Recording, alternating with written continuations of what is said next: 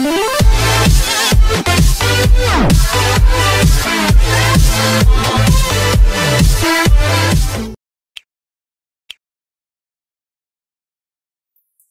định bóng đá U16 Việt Nam với U16 Philippines, Vòng bảng U16 Đông Nam Á. Cập nhật thông tin trước trận đấu. Các bạn hãy đăng ký kênh youtube để cập nhật thông tin mới nhất.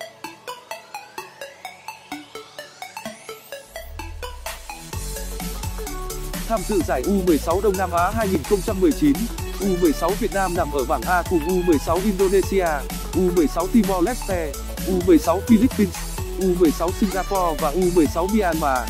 Dù có đến đội nhưng theo điều lệ giải chỉ có hai đội nhất và nhì mới giành quyền đi tiếp vào bán kết. Dĩ nhiên mục tiêu của u16 việt nam là sở hữu một trong hai tấm vé vào vòng đấu dành cho bốn đội xuất sắc nhất. Ở trận gia quân diễn ra hôm 27 tháng 7, u16 việt nam đã thua không hai trước u16 indonesia. Đây là trận đấu mà đoàn quân của huấn luyện viên đinh thế nam đã chơi lấn nước trong hiệp một và có cơ hội mở tỷ số khi được hưởng 11 m ở phút 17. thế nhưng, anh quân lại không thực hiện thành công. Không thể ghi bàn u16 việt nam đã phải trả giá khi Valerón và Marcelino lần lượt xé lưới đội bóng áo đỏ.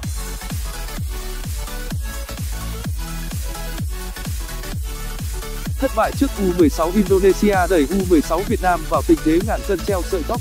Chỉ cần thêm một lần sơ sẩy cánh cửa đi tiếp gần như đóng sập với thầy trò đinh thế nam. Điều đó có nghĩa đánh bại u16 philippines vào chiều tối nay là mệnh lệnh buộc phải hoàn thành với anh quân. Các kết quả khác đều là thất bại. Trong quá khứ U16 Philippines chưa bao giờ là đối thủ xứng tầm với U16 Việt Nam. Đơn cử như hai giải U16 Đông Nam Á gần đây 2017, 2018, U16 Philippines lần lượt thua với tỷ số 0-7 và 1-6 ở trận gia quân cách đây 2 ngày. U16 Philippines cũng chứng tỏ họ tham dự giải chỉ cho có bằng việc thua U16 Timor Leste 1-7. Tin rằng sẽ có chiến thắng cách biệt cho U16 Việt Nam.